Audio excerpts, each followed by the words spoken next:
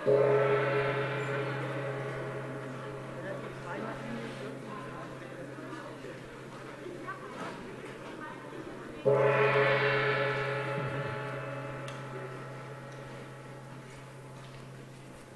wunderschönen guten Morgen und ein frohes neues Jahr.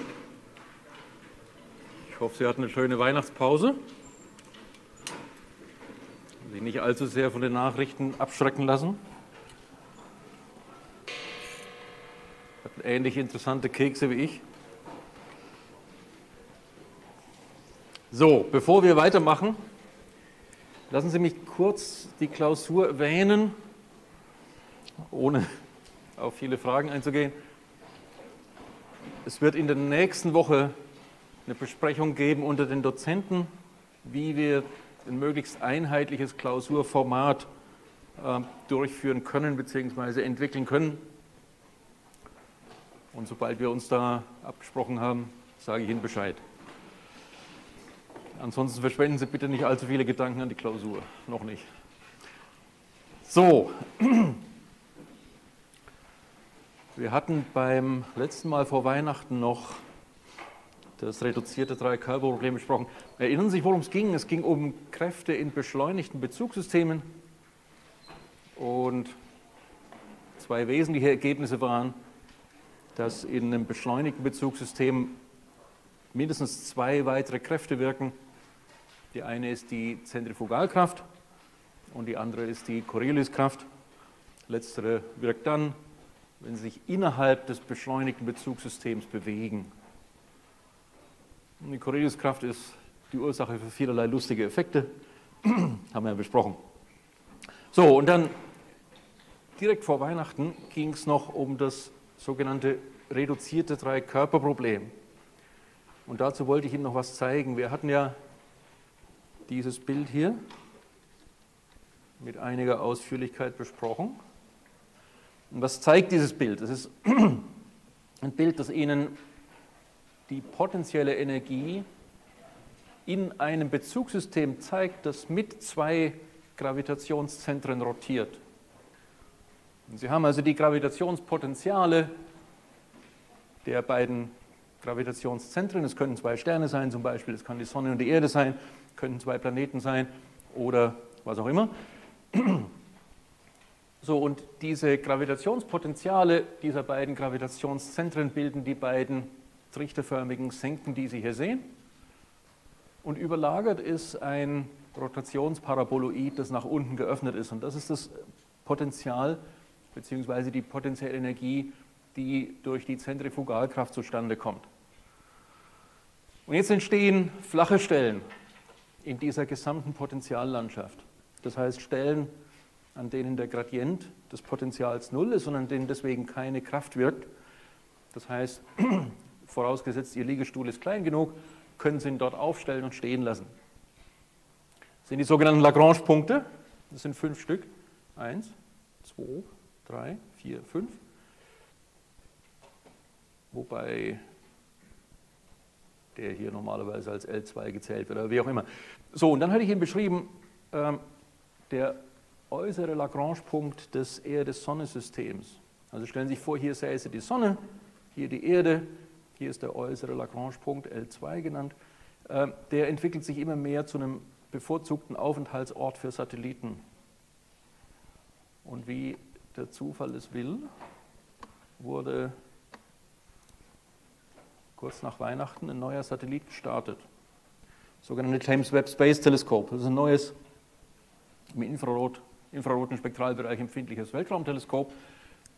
Und dieses Teleskop ist inzwischen auf dem Weg zum äußeren Lagrange-Punkt L2, weil es sich auch dort aufhalten möchte. Und dann kam beim letzten Mal noch die Frage auf, ja Moment, äh, wenn ich mal eines dort habe, im äußeren Lagrange-Punkt, dann kann ich ja kein zweites hinstellen. Aber diese Lagrange-Punkte sind instabil und das heißt, sie müssen auf den Lagrange-Punkten oder um die Lagrange-Punkte auf einem eigenen Orbit umlaufen, um dort bleiben zu können. Und wie das beim James Webb äh, Space, Telescope, ja, Space Telescope aussieht, zeige ich Ihnen mit diesem Film hier, den habe ich von der Wikipedia-Seite geklaut.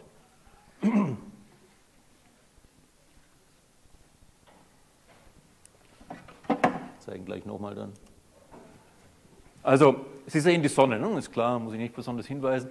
Äh, dann die Erde natürlich mit dem Mond und das James Webb Space Teleskop.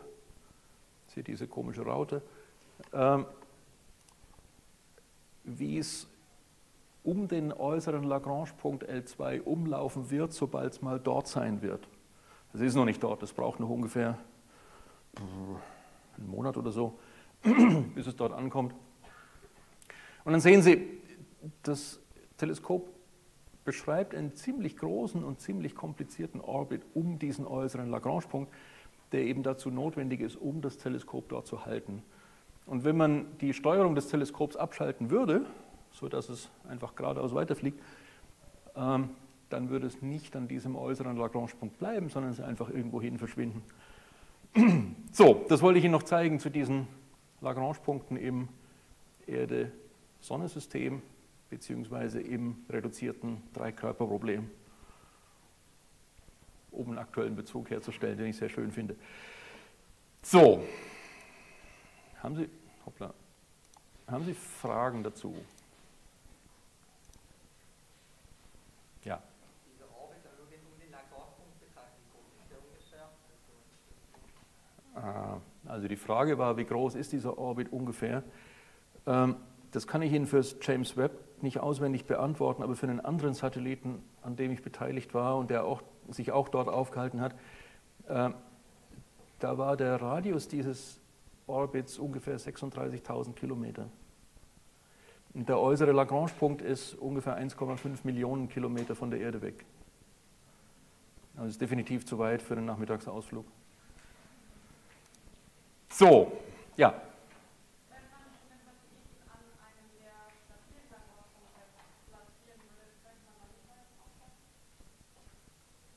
Also die Frage war, wenn man einen Satelliten an einen der stabilen Lagrange-Punkte bringen würde, ob man dann die Steuerung ausschalten könnte. Es gibt keinen stabilen Lagrange-Punkt. Also Sie sehen ja alle, alle drei, äh, Entschuldigung, alle fünf dieser Lagrange-Punkte sind keine Potentialminima, sondern entweder Sattelflächen, so wie hier, oder Potentialmaxima. Und diese Lagrange-Punkte hier, die seitlich dieser Verbindungslinie liegen, ähm, die werden erst dann stabil, wenn sie sich um sie bewegen. Weil dann zu der ähm, Kraft in dem kombinierten Potenzial noch die Corioliskraft dazukommt und erst damit werden diese Orbits dann stabil. Und genauso ist es dann auch bei diesen Satelliten, die in dem äußeren Lagrange-Punkt sitzen. Die bewegen sich um diesen Lagrange-Punkt, bekommen dadurch eine Corioliskraft und diese Corioliskraft zusätzlich zu der Potentialkraft, die Sie hier sehen, die stabilisiert die Orbits dann. Ja. Wie stark wird die Position der Lagrange-Punkte durch, die, durch die Gravitation der anderen Planeten beeinflusst? Also die Frage war, wie stark wird die Position der Lagrange-Punkte durch die anderen Planeten beeinflusst?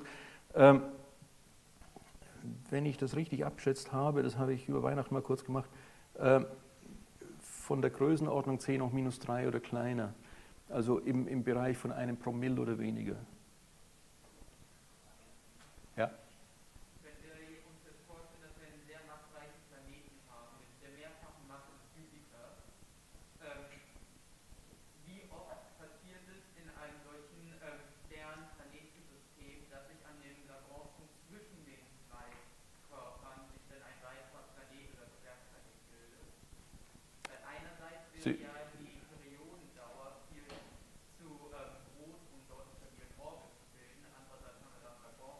Sie meinen den hier?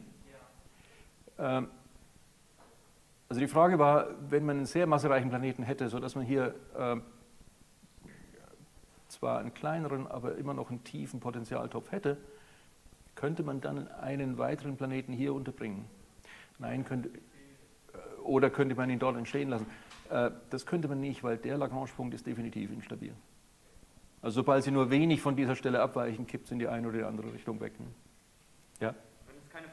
Stabilen Lagrange-Punkte gibt, wie kann es denn sein, dass Jupiter, Trojaner und Griechen passiv Weil die, also die Frage war, wenn es keine stabilen Lagrange-Punkte gibt, wie kann es dann sein, dass die äh, Kleinplaneten Trojaner und Griechen, die durch die, durch die Lagrange-Punkte der Jupiterbahn festgelegt werden, äh, dass die sich dort stabil aufhalten. Nochmal, durch die Corioliskraft der Bewegung um diese Lagrange-Punkte wird die Bewegung dieser Körper um die Lagrange-Punkte stabil. Ja? Genau. Also das heißt, wenn Sie da in Ruhe sitzen wollten, dann ist es kein besonders langes Vergnügen. Wenn Sie aber einen Orbit um, diesen äußeren, um diese Lagrange-Punkte beschreiben, bis auf den hier, äh, dann stabilisiert sie die Corioliskraft dort unter bestimmten Bedingungen und so weiter und so weiter. So, so viel dazu. Ja.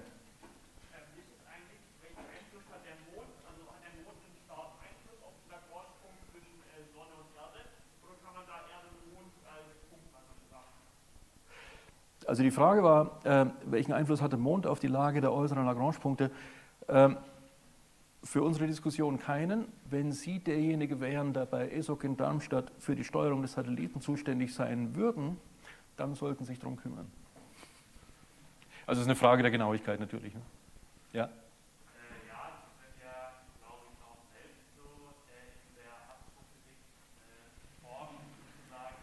Glauben Sie?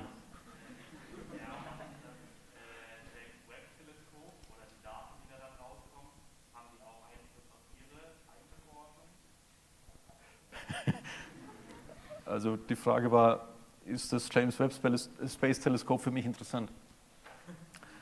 Zum Hinschauen ja, zum Forschen nein. Ja?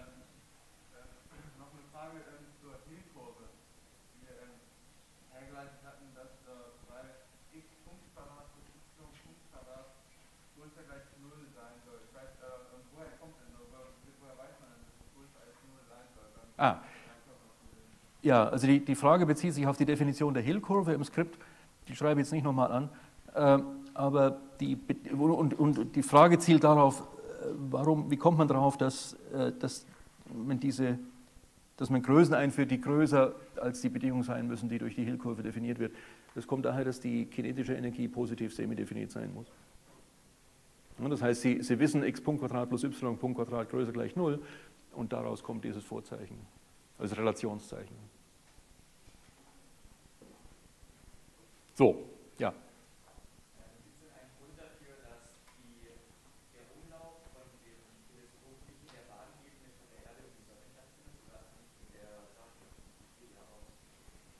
Ah, die Frage war, warum bewegt sich der Satellit aus der Bahnebene raus?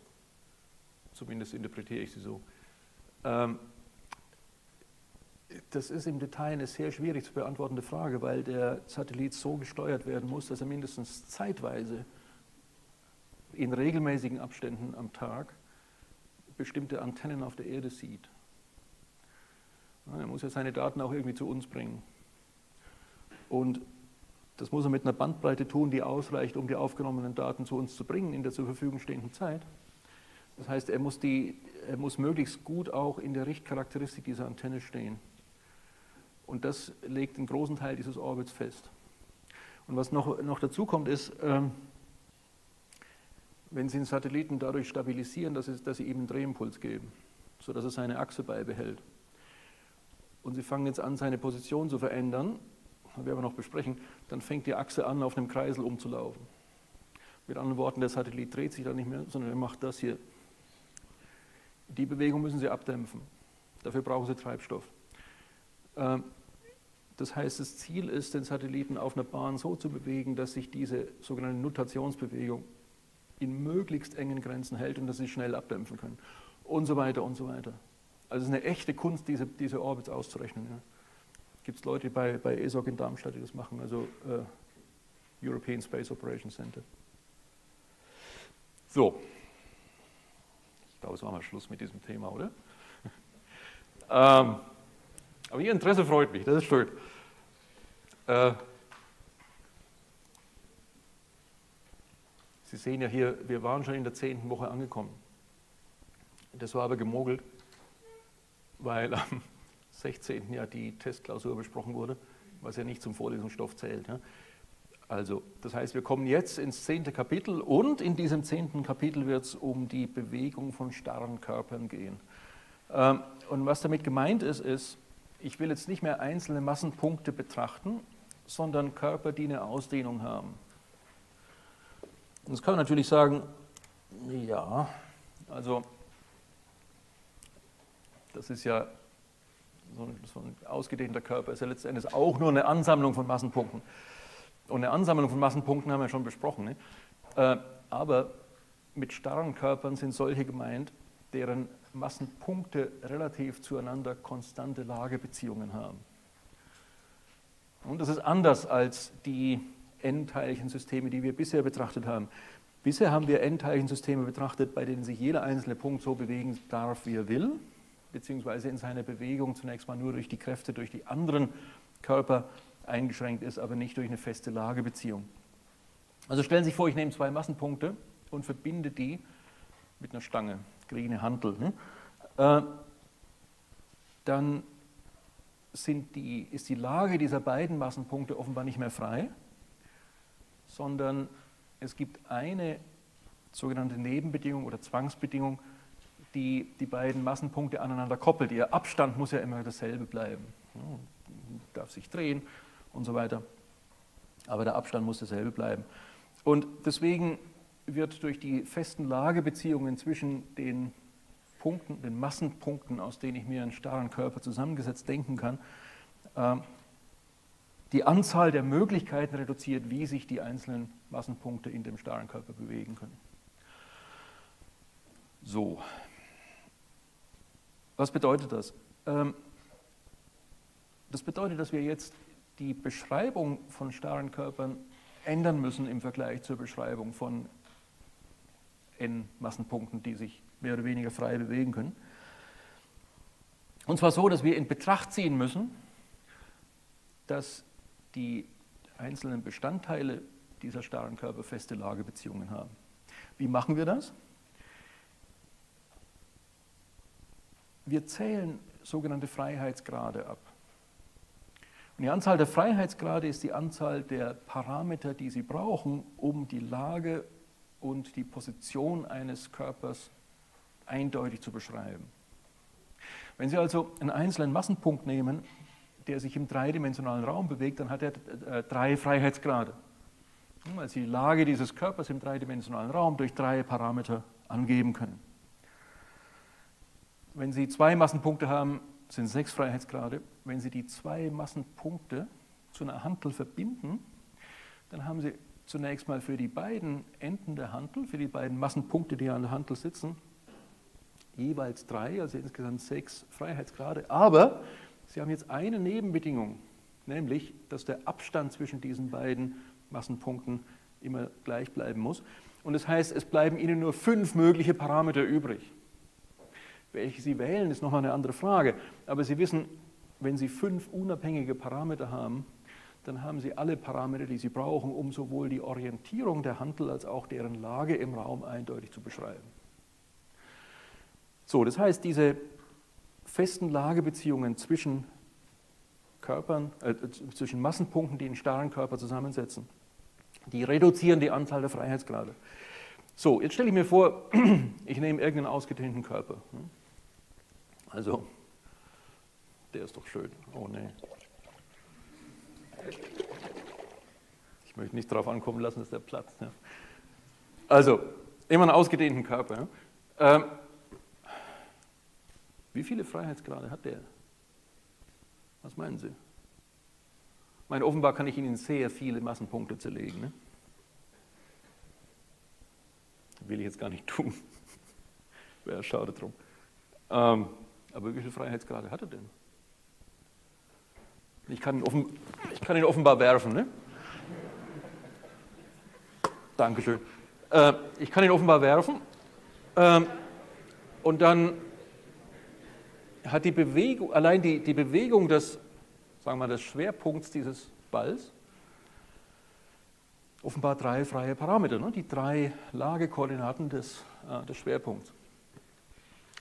Aber ich kann ja auch noch drehen, oder? Danke. äh, ich kann ja auch noch drehen. Und wie viele Freiheitsgrade stecken in der Drehung?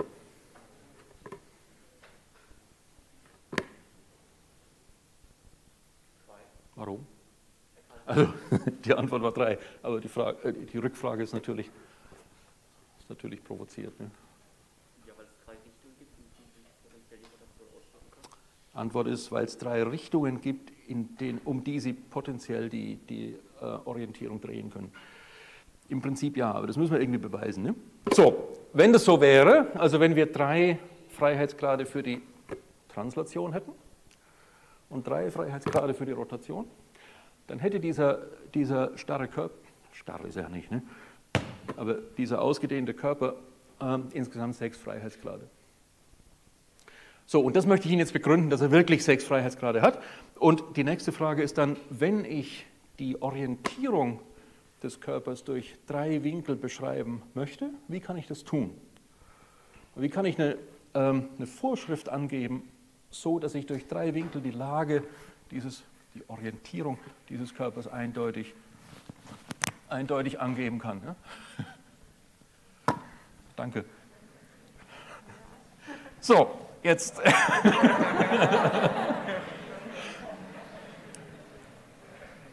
so. Und damit befinden wir uns also im Kapitel 10 der Vorlesung.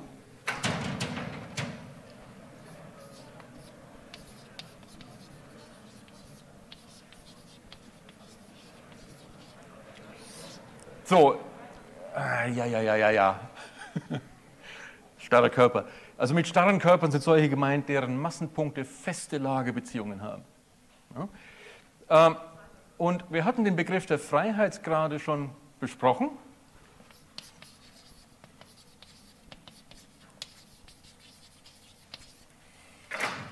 Also nochmal, die Anzahl der Freiheitsgrade ist die Anzahl der Parameter, die Sie brauchen, um die Lage eines Objekts eindeutig anzugeben. So, Sie sehen schon, die Freiheitsgrade können Koordinaten sein. Die können aber auch Winkel sein. Und ein großer Teil der Vorlesung im nächsten Semester wird darum gehen, wie man die Beschreibung einer, der, der Bewegung eines Körpers von vornherein auf diejenigen relevanten Parameter einschränken kann, die für die jeweilige Situation maßgeblich sind, sodass man sich löst von, den, von der Bedeutung der kartesischen Koordinaten und beliebige Koordinaten einführt. Aber eben im nächsten Semester. Aber das kommt ja bald. So, Freiheitsgrade. Ähm, die Anzahl der Freiheitsgrade nenne ich f. So, jetzt ist die Behauptung, dass ich für einen starren Körper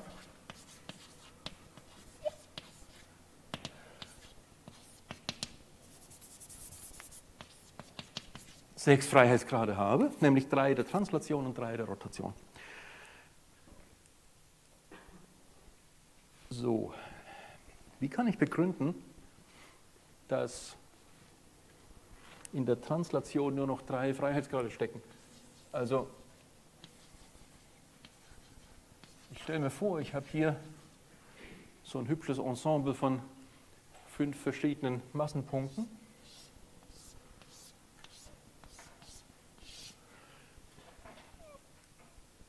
Und die Definition starrer Körper heißt ja jetzt, dass die Lagebeziehung der einzelnen, einzelnen Massenpunkte relativ zueinander, also jeder zu jedem anderen, festgelegt sind.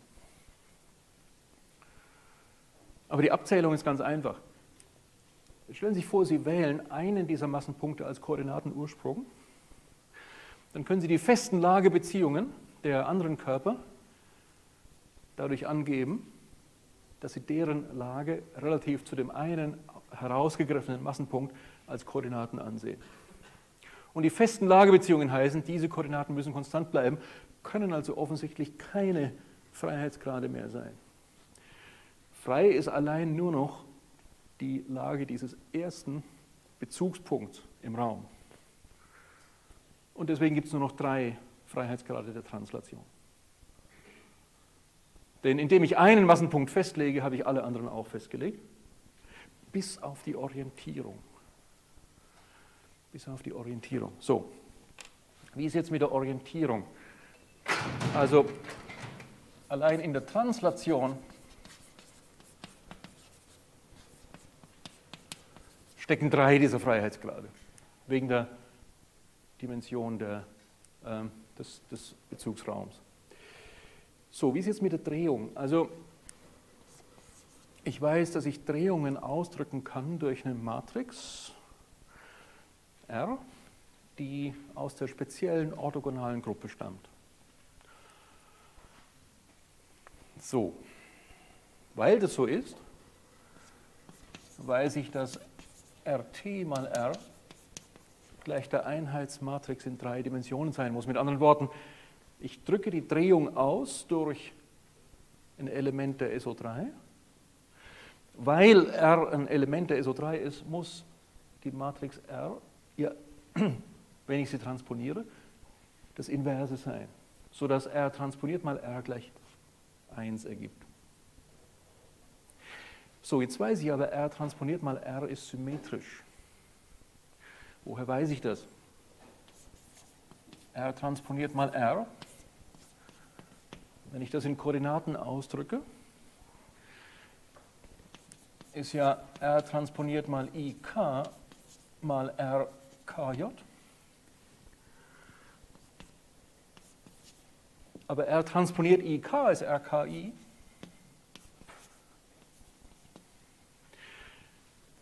Das heißt, wenn ich in Koordinaten schreibe, R transponiert mal RIJ, dann ist es RKI mal RKJ und Sie sehen, jetzt können Sie natürlich die beiden Zahlen RKI und RKJ vertauschen. Und damit haben Sie I und J vertauscht, aber das Ergebnis bleibt dasselbe, weil diese Zahlen natürlich kommutativ sind hier, weil dieses Produkt kommutativ ist. Das ist ja ein Produkt von zwei Zahlen jetzt, nicht mehr von Matrizen. So, mit anderen Worten, die Matrix R transponiert mal R muss symmetrisch sein. Aber wenn sie symmetrisch ist, dann sind alle ihre Elemente auf der oberen, im, im oberen Dreieck, ja, oberhalb der Diagonalen dieser Matrix RIJ, gleich den Elementen in der unteren, im unteren Dreieck, ja, so unterhalb der Diagonalen. Das heißt, wenn ich die Elemente der Matrix R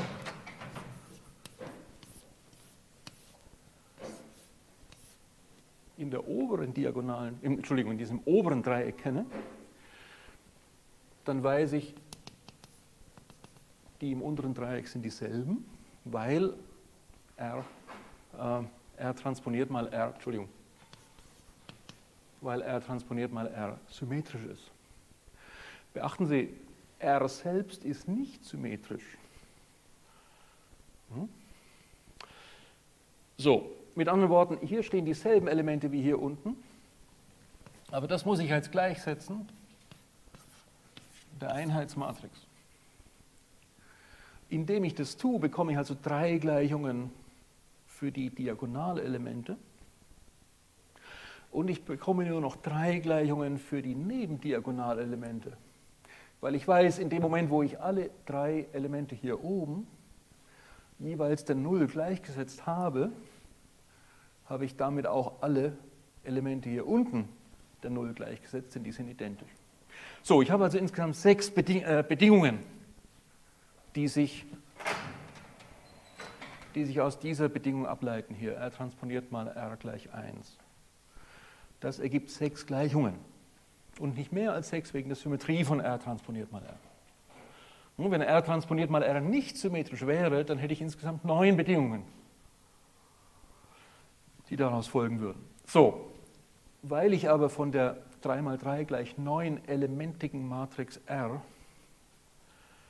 äh, damit 6, äh, beziehungsweise äh, weil ich von der 9-elementigen Matrix R jetzt 6 einschränke durch die Beziehungen, die ich aus dieser, äh, aus dieser Relation bekomme hier können nur drei übrig bleiben. Das heißt, in der Drehung können nur drei Freiheitsgrade stecken. Die, die Drehmatrix muss zwar neun Elemente haben, von diesen neun Elementen sind drei schon durch die Symmetrie. Halt. Okay, ja. Es bleiben drei übrig. Ja? Und das sind eben die, die drei Winkel, um die Sie ähm, einen starren Körper noch unabhängig drehen können. So, das heißt, wir wissen, wir haben drei Freiheitsgrade in der Translation Wir müssen drei Freiheitsgrade in der Rotation eines starren Körpers haben, also insgesamt sechs Freiheitsgrade. Das zieht eine ganze Reihe von Konsequenzen nach sich. Zum Beispiel, stellen Sie sich vor, Sie wollten die Flugbahn eines Balls beschreiben. Hm? Haben wir ja schon experimentell untersucht. Äh, wie stellen Sie denn jetzt die kinetische Energie auf? Ich meine, offenbar reicht es nicht mehr, die kinetische Energie allein in der Translation aufzuschreiben. Jetzt müssen Sie offenbar die kinetische Energie mit berücksichtigen, die in der Rotation steckt. Und je nachdem, wie viel Energie Sie in die Rotation stecken, ähm, wird der Ball unter Umständen eine andere Flugbahn beschreiben. Das heißt, Sie müssen jetzt gleich, Sie müssen jetzt für jeden dieser Freiheitsgrade angeben, ob und wenn ja, wie er zur beispielsweise kinetischen oder potenziellen Energie beiträgt. Also was anderes, als wenn wir den Ball zu einem Punkt schrumpfen würden und ist deswegen was anderes, weil jetzt in der Rotation beispielsweise auch Energie stecken kann und natürlich stecken wird in der Regel, ja.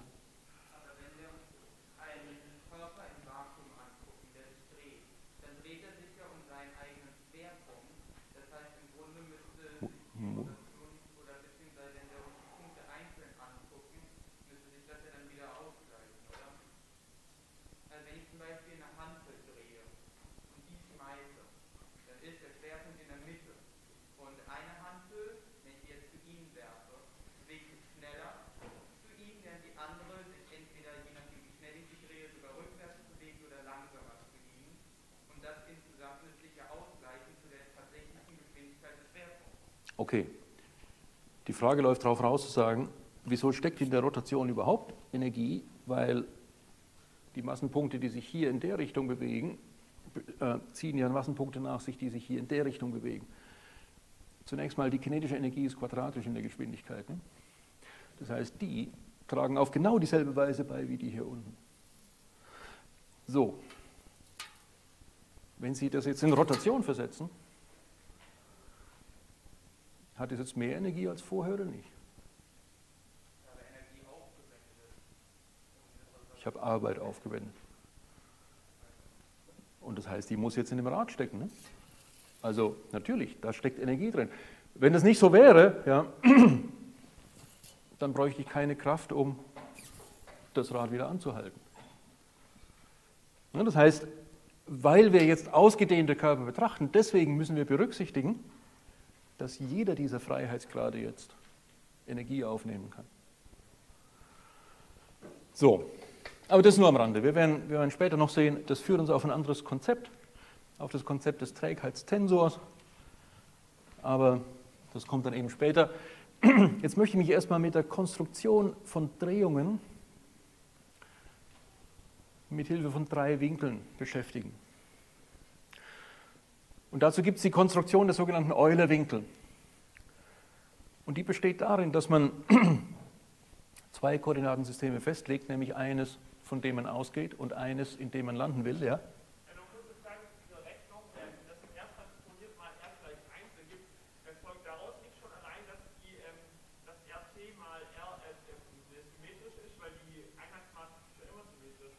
Die Frage ist nur, also die Frage war, folgt daraus nicht schon, dass symmetrisch ist? Ja, die Frage ist nur, welche Bedingungen stellt diese Gleichung an die Elemente von R.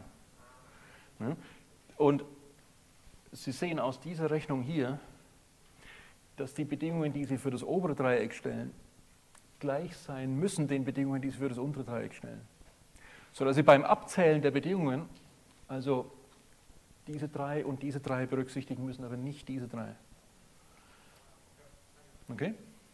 Also die Frage ist nicht, ist R transponiert mal, mal R eine symmetrische Matrix, sondern hängen diese symmetrischen Matrixelemente auf dieselbe Weise von den Elementen der, der Matrix R ab.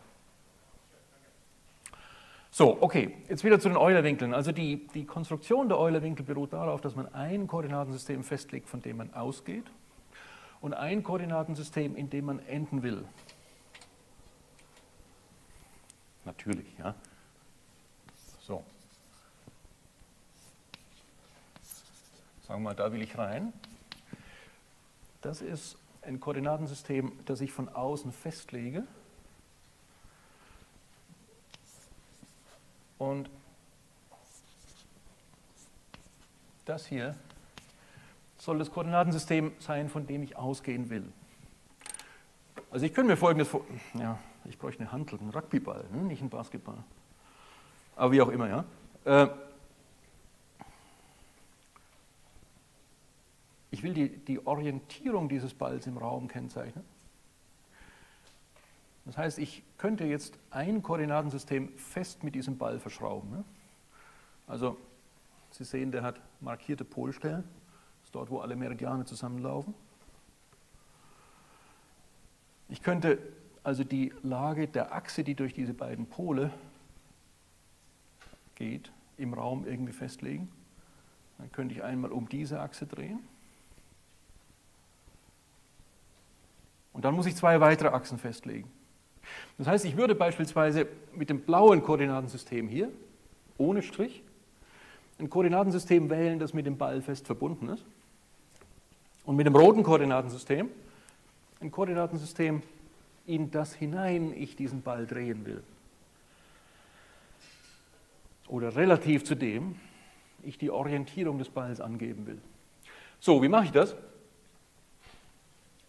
Ich gehe von dem gestrichenen Koordinatensystem aus und sage jetzt, dass die Vektoren x' gegeben sind durch eine Drehmatrix, die ich jetzt hier als D kennzeichnen will. Das ist keine allgemeine Drehmatrix, sondern eine spezielle Drehmatrix. In welchem Sinn, kommt gleich. Ähm, eine Drehmatrix anwende um eine der Achsen dieses x, dieses gestrichenen Koordinatensystems. Welche ich wähle, ist egal. Deswegen legt man die Reihenfolge dieser Achsen durch Konvention fest. Und eine mögliche Konvention, die häufig verwendet wird zur Konstruktion der Eulerwinkel, ist, dass man zunächst um die Dreiachse um einen Winkel Phi dreht. So, wo bin ich jetzt? Also, das ist die Dreiachse des roten Koordinatensystems. Um die wird gedreht. Und der Vektor x' soll sich ergeben durch eine Drehung um die Dreiachse des gestrichenen Koordinatensystems um einen Winkel Phi. Ich gehe also zunächst von dem roten Koordinatensystem aus und drehe das um die Dreiachse um einen bestimmten Winkel. So. Damit bleibt natürlich die Dreiachse ortsfest. Und damit ist die Dreiachse des Koordinatensystems mit Stern gleichzeitig auch die Dreiachse des Koordinatensystems mit Strich. So. Wenn ich dann in diesem um die Dreiachse rotierten Koordinatensystem angekommen bin, suche ich mir eine weitere Achse, die jetzt natürlich nicht die Dreiachse sein darf, und drehe um einen weiteren Winkel um diese Achse. Und um welche Achse ich wähle, ist wieder eine Frage der Konvention. Ich kann jetzt die Achse 1 oder die Achse 2 wählen. Natürlich nicht die Achse 3, weil dann würde ich ja einfach den Winkel Phi vergrößern. Ne? So, ich könnte jetzt also 1 oder 2 wählen. Ich wähle 1. Und das ist wiederum eine Konvention. Und damit lande ich in einem Koordinatensystem mit zwei Sternen. So, und aus dem Koordinatensystem mit zwei Sternen komme ich jetzt in das Koordinatensystem ohne Stern oder Strich, indem ich wieder um eine beliebige Achse, die jetzt nicht die 1-Achse sein darf, um einen weiteren Winkel drehe. Und die Konvention, der ich folge, hat hier wieder die Dreiachse. Aber bedenken Sie, das ist jetzt eine andere Dreiachse als die hier oben, denn wir haben ja inzwischen munter vor uns hingedreht. So, den Winkel nenne ich Psi. Und damit bin ich im körperfesten Koordinatensystem ohne Strich angekommen. So, mit anderen Worten, ich kann diese ganze Operation zusammenfassen in dieser Weise. x' ist eine gesamte Drehmatrix R, angewandt auf x. Und diese gesamte Drehmatrix kann ich zusammensetzen durch D3 Phi d1 Theta, d3 Psi. Das ist eine Konvention dieser Eulerwinkel. 313.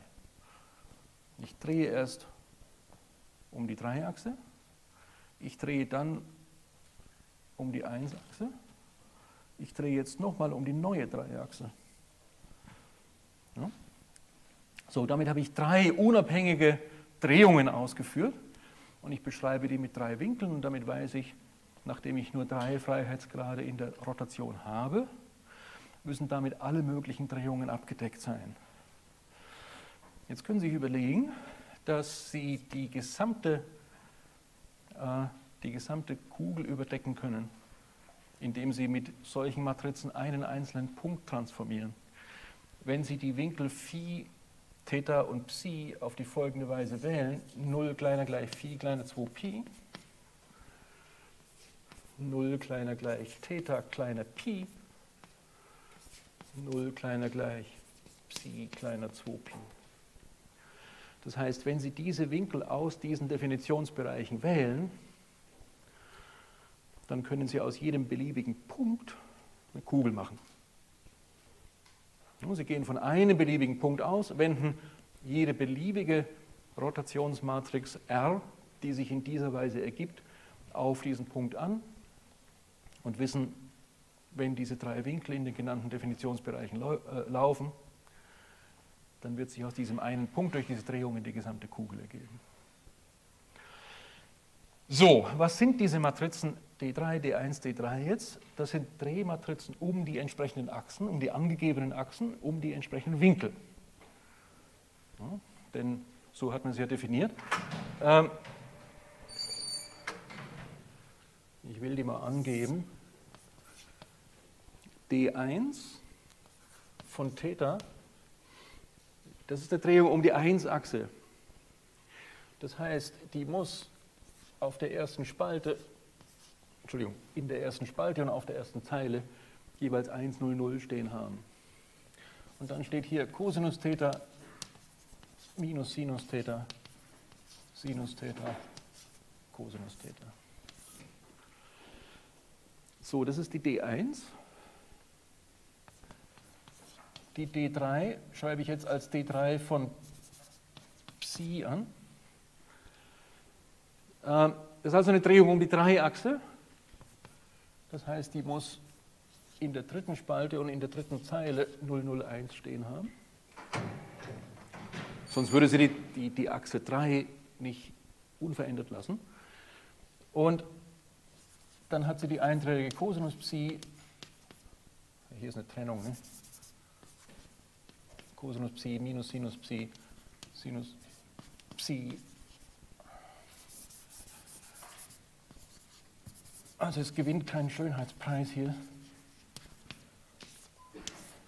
Aber Sie sehen, woraus rausläuft. Ne? Cosinus Psi minus Sinus Psi, Sinus Psi, Cosinus Psi in den vier Elementen, die dann noch übrig bleiben, nachdem die Achse festgelegt ist. So, ähm, jetzt wollen wir noch mal eine von diesen Drehungen ausrechnen, oder? Ähm, und zwar, weil ich sie später brauche, rechne ich jetzt D1 mal D3 aus. Ja?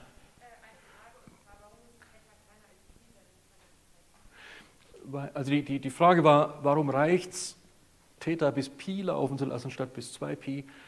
Ähm, weil die Drehung bis Pi reicht, um vom Nord zum Südpol zu kommen. Das ist letztendlich der Grund. Ja, denn die, äh, die Drehung D1 ist ja eine Drehung um die 1-Achse hier. Und um die ganze Kugel mit Hilfe dieser Drehungen und anderer abzudecken, müssen Sie ja nur den Nordpol in den Südpol überführen. Hm, denn äh, die anderen beiden Drehungen um Phi und Psi sorgen dann für den Rest. Und um den Nordpol in den Südpol zu überführen, reicht die Drehung um Pi.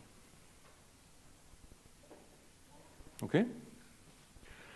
So, jetzt rechne ich d1 Theta mal d3 Psi aus d1 von Theta mal d3 Psi, also 1, 0, 0, 0 Cosinus Theta minus Sinus Theta, 0 Sinus Theta, Cosinus Theta.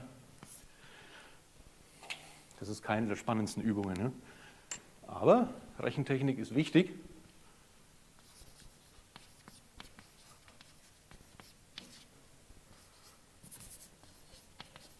So, jetzt habe ich D3 von Psi. So, wie multiplizieren Sie Matrizen? Sie nehmen die Spaltenvektoren des ersten Faktors und multiplizieren Sie skalar mit, Entschuldigung, die Zeilenvektoren des ersten Faktors, multiplizieren Sie skalar mit den Spaltenvektoren des zweiten Faktors. So, das heißt, wir bekommen 1 nur 0 mal Cosinus Psi, Sinus Psi 0, das ist also Cosinus Psi. 1 0 0 mal minus Sinus Psi, Cosinus Psi 0, also minus Sinus Psi. 1 0 0 mal 0 0 1, also 0. Ne, klar, die Multiplikation mit diesem Zeilenvektor reproduziert einfach die erste Zeile aus dem zweiten Faktor. Ja?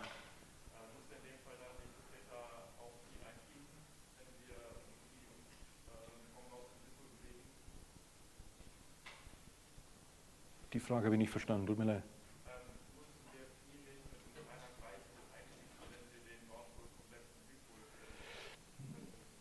Äh, nein, weil durch die anderen beiden Drehungen hier die Kugel schon vollständig überdeckt wird. Ja? Warum halten zwei Drehungen aus, um die ganze Kugel abzudecken? Wenn ich einen Punkt erstmal um irgendeinen Winkel bewege, dann wäre die Zahl aller möglichen Drehungen, also die würde ja einen Kreis darstellen und wenn ich den Kreis dann nochmal rotiere, dann hält man ja schon die ganze Kugel. Also die Frage war, warum reichen nicht zwei Winkel aus? Die, die ganz banale Antwort ist, weil sie wissen, dass sie, dass die Drehung drei Freiheitsgrade haben muss. Das kriegen sie einfach aus dieser Abzählung raus, die hieraus folgt. Sie wissen, diese, diese Drehung muss drei Freiheitsgrade haben. Zwei Winkel können reichen in Spezialfällen, müssen aber nicht. So, jetzt die erste Zeile. Dann haben wir 0 Cosinus Theta minus Sinus Theta mal Cosinus Psi Sinus Psi 0, also Cosinus Theta Sinus Psi. Dann haben wir 0 Cosinus Theta minus Sinus Theta mal minus Sinus Theta Cosinus Psi 0, also Cosinus Theta Cosinus Psi. Dann haben wir 0 Cosinus Theta minus Sinus Theta mal 001, also minus Sinus Theta So, zum Schluss 0 Sinus Theta Cosinus Theta mal Cosinus Psi Sinus Psi 0, also Sinus Theta Cosinus Psi. 0 Sinus Theta Cosinus Theta mal minus Sinus Psi Cosinus Psi 0, also Sinus Theta Cosinus Psi. Hier war das Sinus, ne?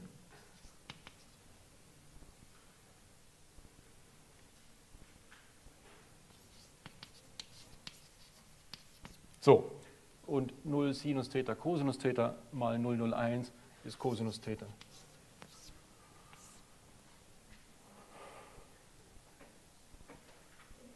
Okay, so, dieses Produkt brauche ich später wieder. Deswegen habe ich es jetzt ausgerechnet, aber das machen wir nach der Pause. Ja? In zehn Minuten geht es weiter.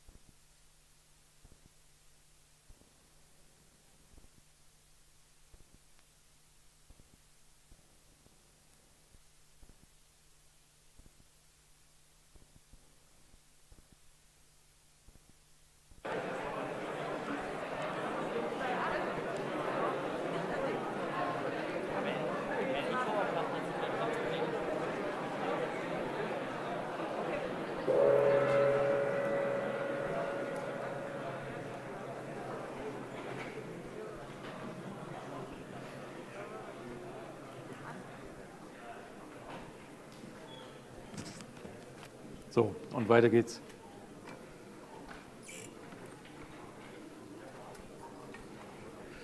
Also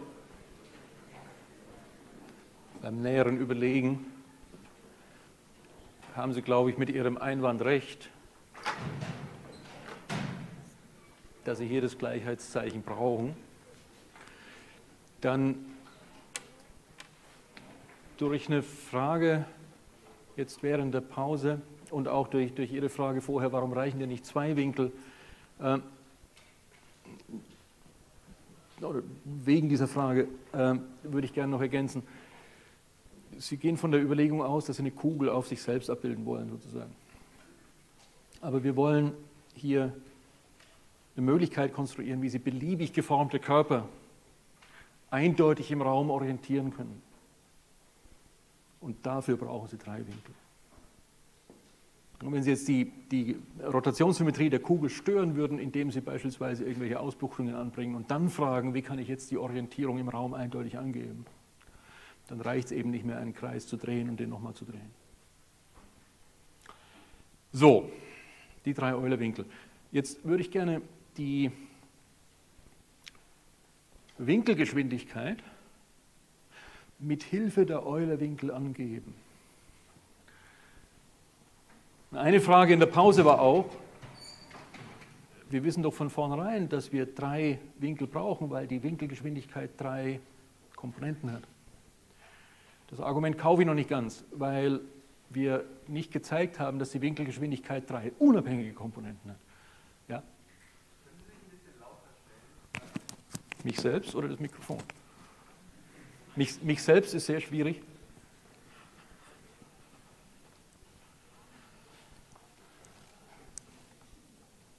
Wie wäre es denn so? Besser? okay. So, also ich würde jetzt gerne die, die Winkelgeschwindigkeit durch die drei Winkel Phi, Theta und Psi angeben. Wie muss ich das machen? Also der Winkel Phi beschreibt eine Drehung um die Dreiachse des gestrichenen Koordinatensystems. Das ist gleichzeitig die Dreiachse um das Koordinatensystem mit dem Stern. Und das Koordinatensystem mit dem Stern hat sich ergeben aus dem ungestrichenen Koordinatensystem durch die Hintereinanderausführung von d1 von Theta mal d3 von Psi. Aber zunächst mal schreibe ich die Formel auf. Also wir haben einen Anteil dieser Drehung, der sich ergibt, indem ich den Winkel Phi, dieser Winkelgeschwindigkeit, der sich ergibt, indem ich den Winkel Phi ändere, zeitlich, also Phi Punkt. Und jetzt muss ich multiplizieren mit der Richtung der Drehachse, zu der dieser Winkel Phi gehört. Und den schreibe ich als E3 Stern. Und der ist identisch mit E'. Entschuldigung, E3 Strich. Ja? Denn Sie erinnern sich, der erste Konstruktionsschritt in der Richtung von x' nach x war eine Drehung um die Dreiachse des gestrichenen Koordinatensystems. Die hat uns das Koordinatensystem mit dem Stern ergeben. Aber nachdem wir um die Dreiachse gedreht haben, sind die drei Achsen von Strich und Stern identisch. Ich brauche hier den Stern, Sie werden gleich sehen, warum. So, äh, dann muss ich eine weitere Komponente der Winkelgeschwindigkeit bekommen, indem ich den Winkel Theta ändere. Die Richtung dieser Winkelgeschwindigkeit, die sich aus der Änderung des Winkels Theta ergibt, muss die 1-Achse des doppelt gesternten Bezugssystems sein. Denn der Winkel Theta beschreibt die Drehung um die 1-Achse des Systems der sich mit den zwei Sternen gekennzeichnet hatte.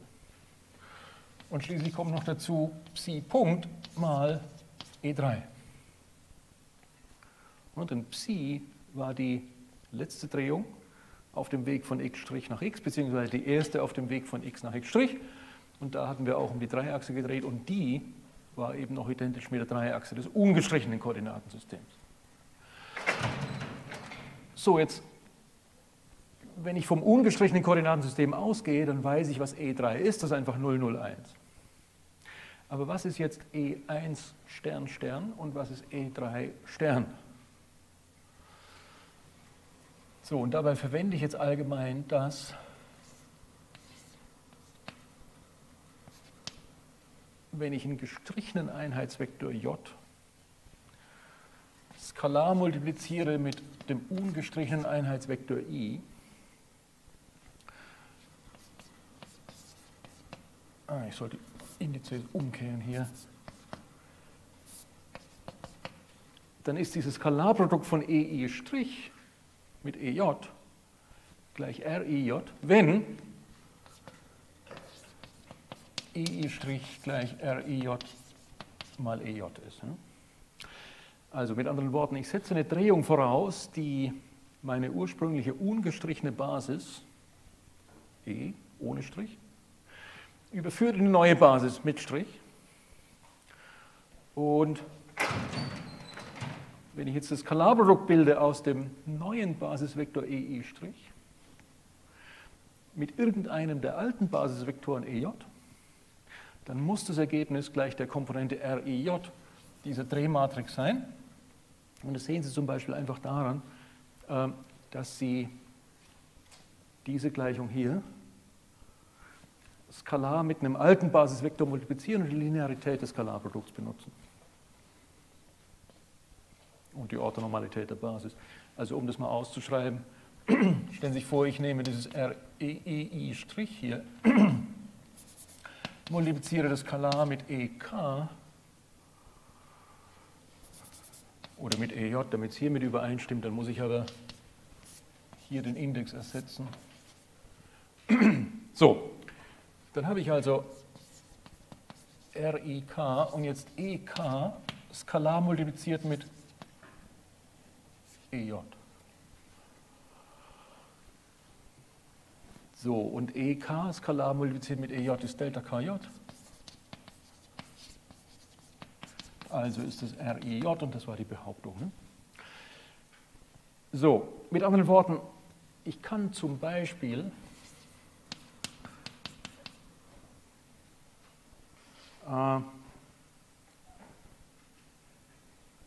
wenn ich den Vektor E1 Stern Stern haben will, diese Gleichung benutzen, um das Skalarprodukt zwischen E1 Stern Stern und e, jedem beliebigen Vektor EJ, der alten Basis, der äh, ungestrichenen Basis, äh, bilden. Und weiß, ich bekomme jetzt die Elemente R1J der Drehmatrix raus. Was ist die Drehmatrix, die das ungestrichene Koordinatensystem in das mit den zwei Sternen überführt. Das war die Drehung um Psi, um die Dreiachse. Das heißt, ich weiß, dass es die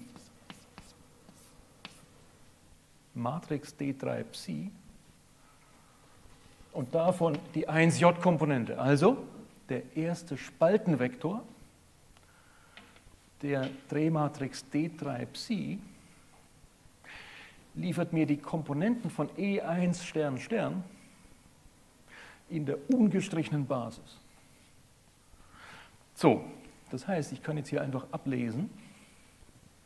Ich brauche den ersten Spaltenvektor aus D3 Psi und das liefert mir den Vektor E1 Stern Stern. Das heißt, ähm, daraus kann ich folgern, E1 Stern Stern ist gleich Cosinus Psi minus Sinus Psi 0.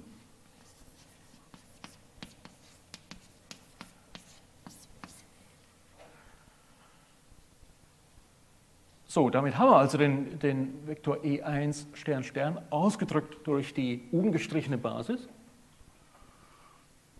Jetzt brauchen wir noch einen. Jetzt brauche ich E3 Stern. Ich schreibe hier drüben weiter.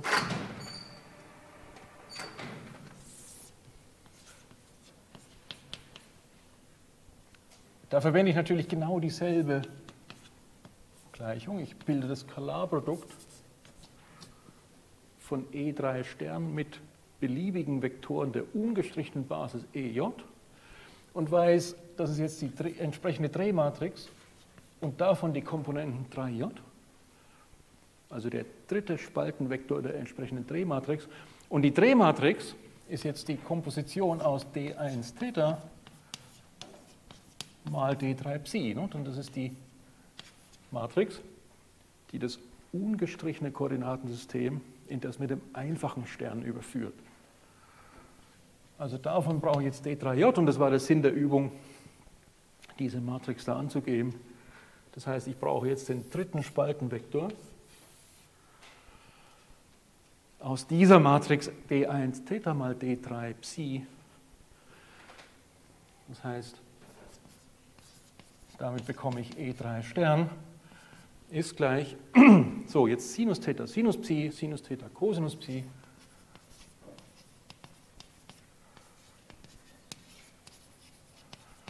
Und was noch? Cosinus Theta. So, und damit habe ich alle Vektoren, die ich brauche. Und kann zusammenfassen. Damit kann ich also den Vektor der momentanen Winkelgeschwindigkeit ausdrücken durch die drei Eulerwinkel und kann schreiben, das ist offenbar Phi Punkt mal dieser Vektor hier, Sinus Theta, Sinus Psi, Sinus Theta, Cosinus Psi, Cosinus Theta. Dann kommt plus Theta Punkt und jetzt dieser Vektor hier, E1 Stern Stern, also Cosinus Psi minus Sinus Psi 0,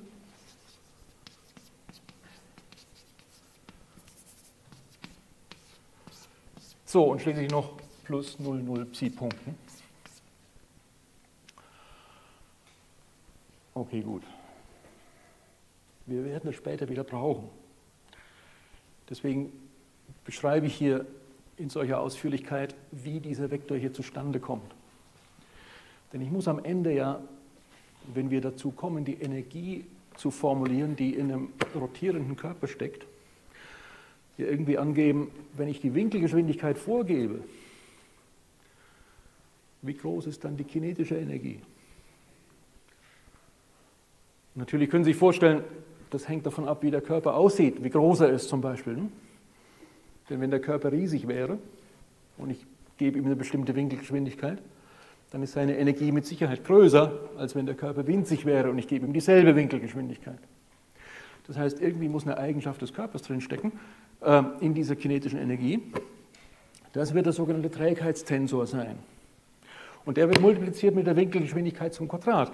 Aber dann muss ich natürlich wissen, wie drücke ich diese Winkelgeschwindigkeit durch die drei Koordinaten aus, die ich jetzt als Freiheitsgrade der Rotation eingeführt habe. Okay, und deswegen machen wir hier die ganze Übung mit diesem, äh, mit diesem Vektor der momentanen Winkelgeschwindigkeit Omega. Ich brauche ihn später, um die kinetische Energie zu formulieren. Okay? Ansonsten ist es nicht besonders lustig. Aber ähm, eines ist doch ganz nett. Sie können ja auf die Idee kommen und sagen, na gut, irgendeinen Vektor muss es doch geben, dessen Zeitableitung der Vektor Omega ist. Also mit anderen Worten, kann ich einen Vektor finden, so dass Omega gleich d nach dt von diesem Vektor ist und den Vektor nenne ich einfach mal c. Also existiert so ein Vektor, kann ich mich auf die Suche danach machen? Und die Antwort ist, lassen Sie es bleiben, es gibt ihn nicht. Äh, woran sehen Sie das? Naja, äh, nehmen Sie beispielsweise mal ähm, schreiben Sie erstmal die Zeitableitung hier aus. Ne? Äh, ich weiß ja, dass dieser Vektor c wiederum abhängen muss von unseren drei Eulerwinkeln. Das heißt, ich kann die totale Zeitableitung schreiben als ähm, Phi Punkt äh, mal dc nach d Phi plus Psi-Punkt mal dc nach d Psi plus Phi, Entschuldigung, die Reihenfolge ist jetzt nicht gut, aber Theta-Punkt mal dc nach d Theta, ne? Entschuldigung, nach dt. So, mit anderen Worten, ich suche einen solchen Vektor c, ich setze voraus oder ich schreibe ihn in derselben Abhängigkeit von den drei Eulerwinkeln und weiß deswegen, die totale Zeitableitung von c muss ich ausdrücken können durch die Ableitungen des Vektors c nach den drei Eulerwinkeln, jeweils multipliziert mit der Zeitableitung dieser drei Eulerwinkel. Ja? Warum sagen Sie am besten, äh, hm, weil es falsch war. Äh, okay. So, jetzt schaue ich mir den Anteil an, äh, der proportional ist zu Psi-Punkt. Nee, ich schaue mir den Anteil an, der proportional ist zu Theta-Punkt. Ja? Also ich, nehme, ich greife mir einfach irgendein Beispiel raus und sage, ich schaue mir jetzt mal an dc1 nach d Theta. Was ist das? Naja, der Anteil dieser momentanen Winkelgeschwindigkeit, der proportional ist zu Theta Punkt, steht in diesem Vektor hier. Cosinus Psi minus Sinus Psi, 0. Das heißt, D1, dc1 nach d Theta muss gleich sein Cosinus Psi. Sonst würde nicht übereinstimmen mit dieser Darstellung dieses Vektors Omega. So, jetzt schaue ich mir dc1 nach d Psi an. Mit anderen Worten, ich muss jetzt aus dem Vektor der momentanen Winkelgeschwindigkeit denjenigen Anteil rausnehmen, der proportional ist zu Psi Punkt. Das ist der Vektor 001. Das heißt, dc1 nach d Psi muss gleich 0 sein. Aha. Und jetzt bilde ich die gemischten Ableitungen d2c1 nach d Theta d Psi ist offenbar minus Sinus Psi. Aber d2c1 nach d Theta d Psi ist offenbar gleich 0. Naja, beide zusammen kann nicht sein. Das heißt, es kann nicht sein, dass es so einen Vektor c gibt, im Allgemeinen, ja, so dass die Ableitung von c nach der Zeit gleich dem Vektor der momentanen Winkelgeschwindigkeit ist. Es gibt diesen Vektor nicht im Allgemeinen. Natürlich können Sie Sonderfälle konstruieren, in denen das geht, das sehe ich schon ein. Aber im Allgemeinen wird es keinen solchen Vektor geben. So, mit anderen Worten, das geht nicht. Ein solcher Vektor c existiert nicht im Allgemeinen. Okay. Gibt es noch Fragen dazu, zu dieser? Ja.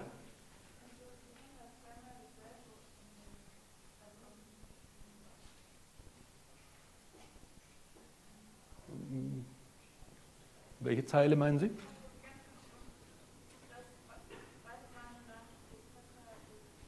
Ja, ich, ich habe hier den Satz von Schwarz gleich implizit benutzt. D2, hier sollte stehen D2C1 nach D, Theta D Psi, aber nach dem Satz von Schwarz müssen die beiden Reihenfolgen der Ableitungen identisch sein.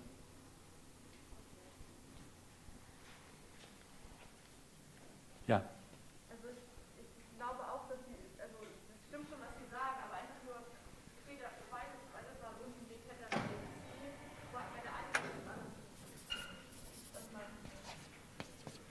Das habe ich schon verstanden, aber die beiden Ausdrücke sind identisch.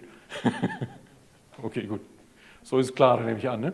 Ich muss die beiden jetzt identifizieren können, weil die gemischten Ableitungen gleich sein müssen, unabhängig von der Reihenfolge der Ableitungen. Aber ich kann sie nicht gleichsetzen,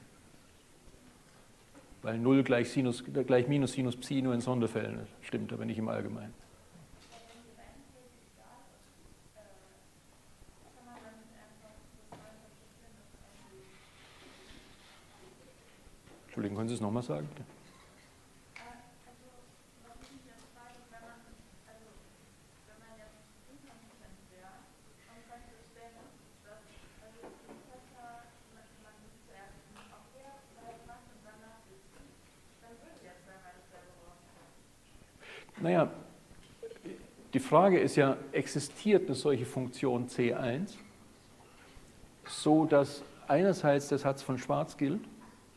und andererseits unser Ergebnis stimmt.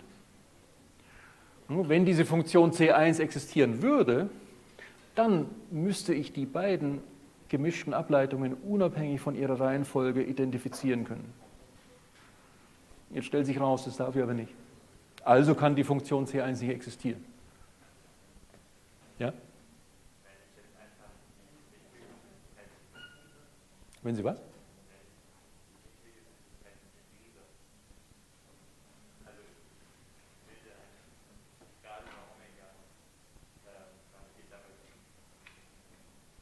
Also Sie möchten die Winkelgeschwindigkeit integrieren und Sie fragen, was dabei schief geht.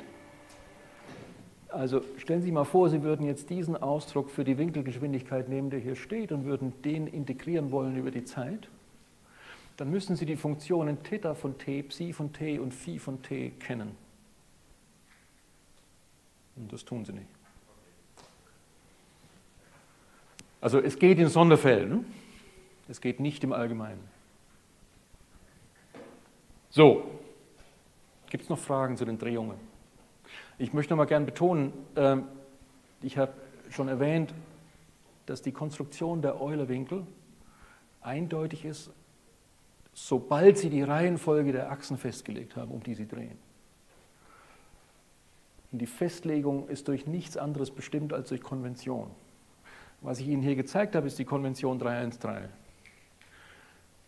Viele Leute haben Spaß an 323. Okay, fein. Wenn Sie irgendwo irgendwelche Formeln aufschnappen und sagen, okay, hier ist die Drehmatrix angegeben für die Eulerwinkel und so weiter, achten Sie auf die Konvention, die gewählt wurde. Es ist nichts falsch an der einen oder anderen, aber die Formeln sehen halt verschieden aus. So, wenn es dazu keine Fragen mehr gibt, dann würde ich gerne zu Abschnitt 10.2 kommen und der Abschnitt 10.2 handelt von Tensoren. Und der Grund ist, der Grund, warum wir von Tensoren reden müssen, ist, dass wir, wenn wir später über Energie in ausgedehnten Körpern reden wollen, irgendwie berücksichtigen müssen, dass in der Rotation dieser Körper Energie stecken muss, dass ich diese kinetische Energie, die in der Rotation steckt, irgendwie durch die Winkelgeschwindigkeit ausdrücken muss aber dass ich dafür einen, ein Objekt verwenden muss, das die Winkelgeschwindigkeit in eine kinetische Energie übersetzt und das gleichzeitig von, nicht nur von der Masse des Körpers abhängt, sondern auch von der Form des Körpers und von, seiner, von der räumlichen Verteilung dieser Masse. Mit anderen Worten, ich hätte gern ein mathematisches Objekt, das zwei Vektoren verzehrt und dafür eine Zahl zurückgibt. Ich hätte gerne ein Objekt, das zweimal die momentane Winkelgeschwindigkeit aufnimmt, denn die kennzeichnet die Rotationsgeschwindigkeit meines Körpers, nicht meines Körpers, eines Körpers. Äh, okay, gut. Ähm, so. Und dafür soll es mir eine Zahl zurückgeben, nämlich die kinetische Energie, die in dieser Rotation steckt. So, ich hätte also gern ein mathematisches Objekt, allgemein gesprochen, das eine Reihe von Vektoren aufnimmt und dafür eine Zahl zurückgibt. Okay, wenn das Objekt diese Abbildung auf lineare Weise tut, für jeden der eingefütterten Vektoren, dann nenne ich das Objekt ein Tensor. Aber gut, machen wir es allgemein. Also wir sind bei 10.2, es geht um Tensoren. So, und dabei möchte ich zunächst mal besprechen, was ein Dualvektor ist. Jetzt sind Ihnen Dualvektoren offensichtlich schon begegnet.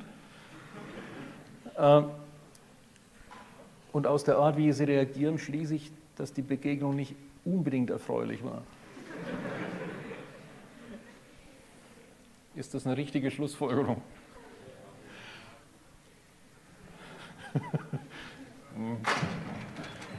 Nicht für alle von Ihnen offenbar. Okay, also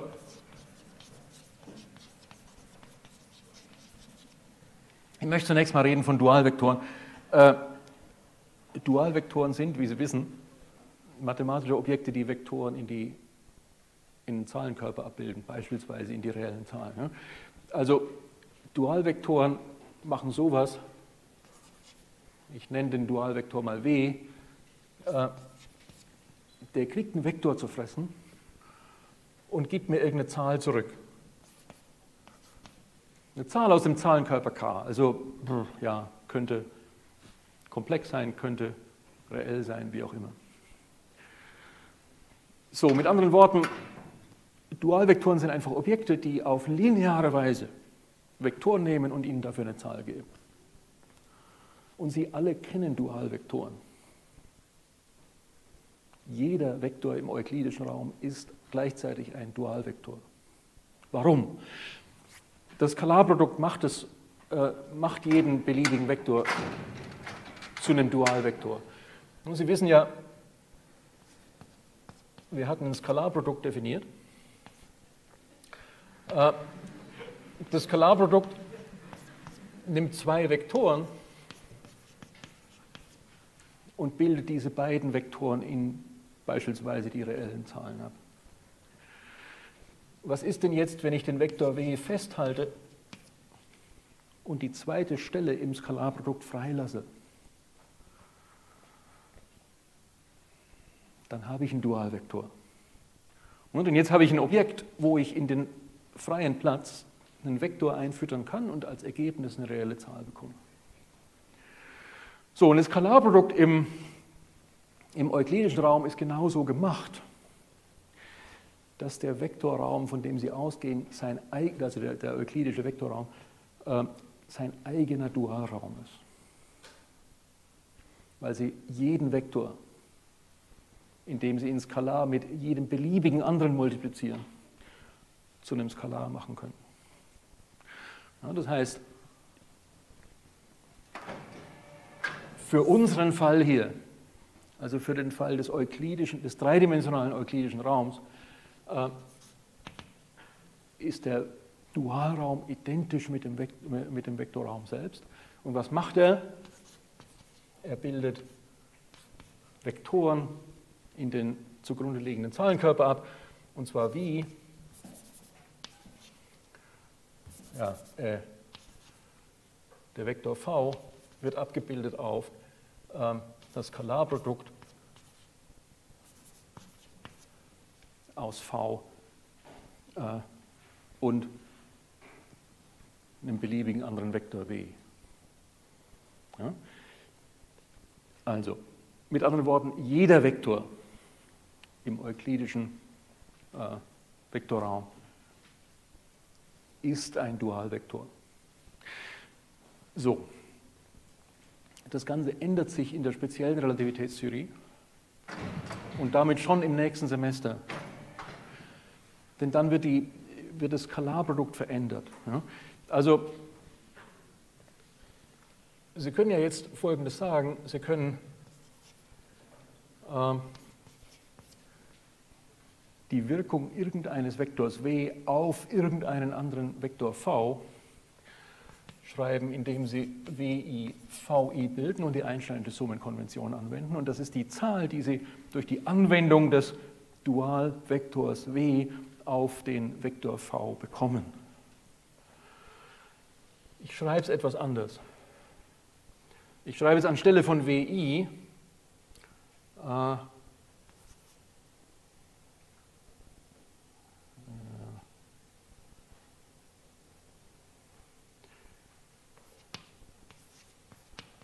Machen wir es mal so.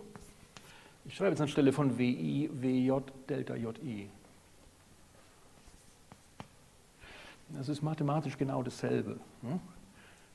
Äh, denn WJ mal Delta IJ heißt einfach, jetzt multiplizieren Sie den Vektor W, bevor Sie ihn auf den Vektor V anwenden, mit einer 1.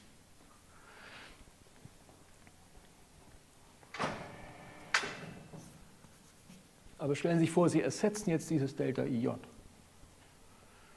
Sie können jetzt zum Beispiel ein Skalarprodukt einführen indem Sie eben hier nicht die Einheitsmatrix nehmen für äh, Delta IJ, sondern Sie können hier zum Beispiel nehmen minus 1, plus 1, plus 1. Unsere Definition des Skalarprodukts verbietet sowas noch, hm? denn wir haben das Skalarprodukt so eingeführt, äh, dass es positiv semidefinit ist. Nehmen wir an, wir würden das erlauben, dann würde jetzt der Dualvektor W wegen dieser veränderten Matrix hier in seiner 1-Komponente ein negatives Vorzeichen bekommen und wäre damit nicht mehr identisch mit dem, mit dem äh, Vektor W. So was passiert in der speziellen Relativitätstheorie, wo Sie die Matrix hier vierdimensional machen und dann im 0,0-Element eine Minus 1 einführen.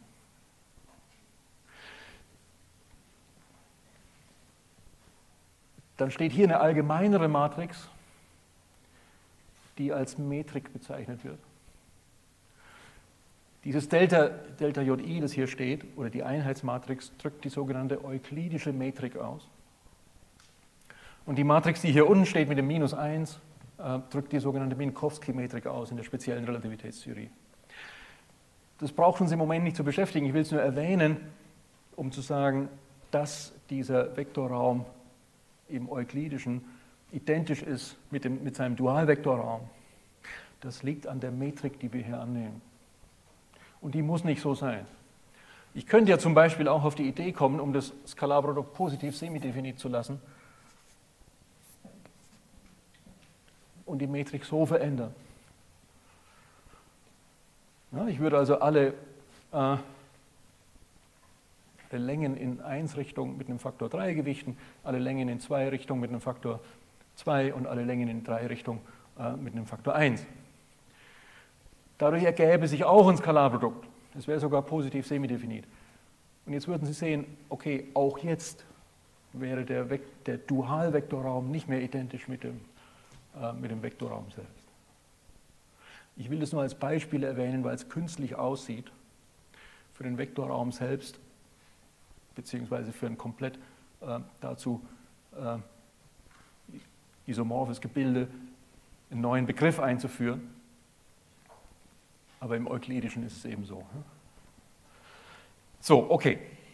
Das heißt, mit Hilfe des Skalarprodukts können Sie Dualvektoren darstellen, können Sie aus jedem beliebigen Vektor einen Dualvektor machen. Ja. Was genau ist eine Metrik? Ein Objekt, das Abstände, also die Frage war, was ist eine Metrik?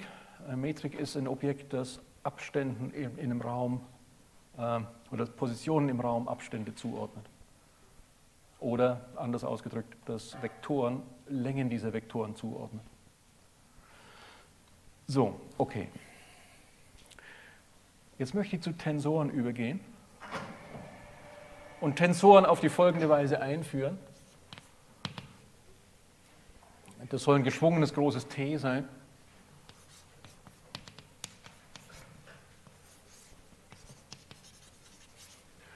Tensoren nehmen n Vektoren auf und bilden diese Vektoren auf multilineare Weise in, die, in den Zahlenkörper des Vektorraums, in den Zahlenkörper, der dem Vektorraum zugrunde liegt, ab. Die Zahl n heißt Stufe des Tensors. Das heißt, was hier steht, ist die Definition eines Tensors n-ter Stufe. Der nimmt also Vektoren V1 bis Vn und bildet sie auf multilineare Weise ab. Und multilinear heißt, der Tensor ist in jedem seiner Argumente linear. Das heißt, wenn ich irgendein, irgendein Element j hier rausgreife, dann gilt, wenn ich den Tensor anwende auf alles bis J, äh, bis J minus 1 unverändert. An die Stelle von Vj setze ich jetzt Vj plus Lambda mal Wj.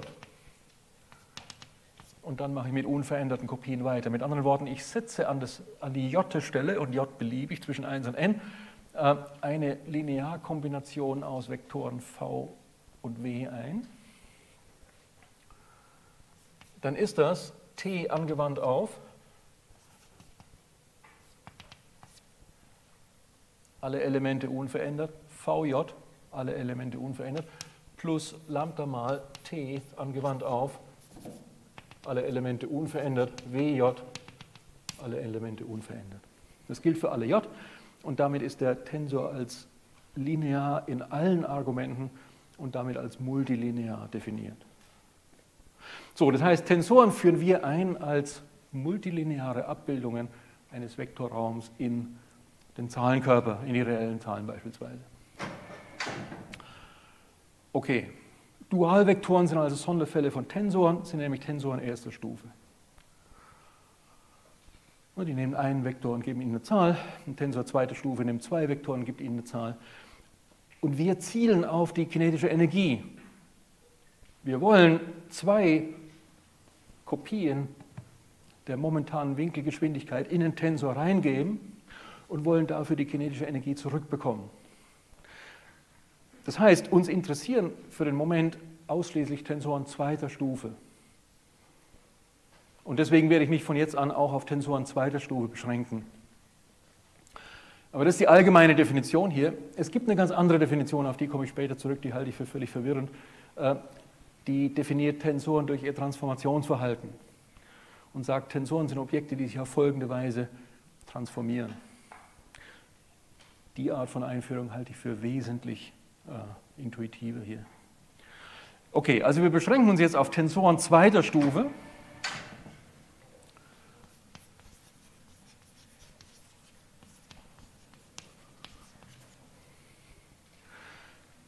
So, und einen Tensor äh, zweiter Stufe kennen Sie bereits. Das ist das Skalarprodukt. Hm? Frisst zwei Vektoren, gibt Ihnen eine Zahl zurück. Das heißt, das Skalarprodukt realisiert einen Tensor zweiter Stufe. Aber es gibt eben, äh, ist eben nur äh, ein Beispiel äh, für Tensoren zweiter Stufe. So, wegen der Multilinearität in dem Fall von dem Tensor zweiter Stufe, also wegen der Bilinearität, muss es ausreichen, den Tensor dadurch festzulegen, was er den Einheitsvektoren antut. Also mit anderen Worten, wenn ich einen Tensor zweiter Stufe habe und diesem Tensor die Einheitsvektoren EI und EJ füttere, und festlege, was dabei rauskommen soll. Das nenne ich die Komponenten TIJ des Tensors.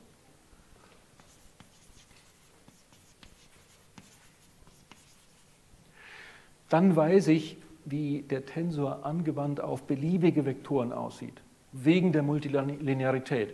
Beispiel. Wenn ich also auf die Weise festgelegt habe, was der Tensor mit den Einheitsvektoren tut, und ich will jetzt den Tensor anwenden auf zwei Vektoren, zwei allgemeine Vektoren v und w, dann schreibe ich, stelle ich die beiden Vektoren zunächst durch die Basis dar. Und jetzt kann ich die Multilinearität verwenden, indem ich die Komponenten vi und wj dieser beiden Vektoren rausziehe. Die Multilinearität erlaubt mir das. Also schreibe ich vi wj und jetzt bleibt übrig t von ei, ej, aber das kenne ich. Das ist tij. So, damit wollte ich nur zeigen, wenn Sie festgelegt haben, wie der Tensor auf die Einheitsvektoren wirkt, dann kennen Sie die gesamte Tensorabbildung.